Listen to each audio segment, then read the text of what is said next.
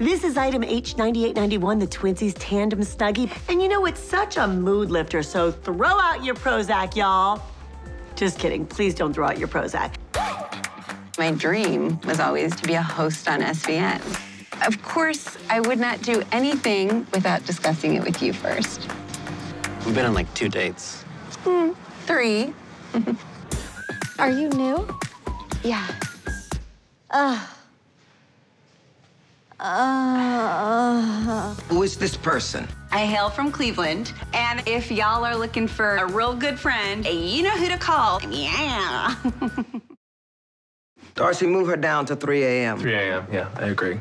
I'm Jackie. I know who you are. Hey, y'all. We're coming into people's living rooms. It's a relationship. No more sandstone. Tell them we're out. Gotcha. Sorry about that. Don't talk to me. I'm so sorry. I don't apologize. Sorry for saying sorry. Two minutes to live, you're gonna be great. Really? I'm not sure. Are you dying to smell it? I sure am. Mm.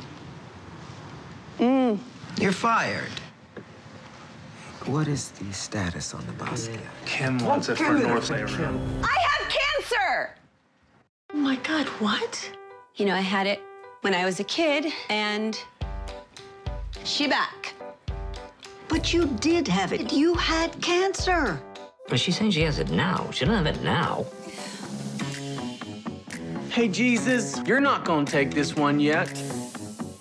I've really only been with two guys, and both of them weighed less than me.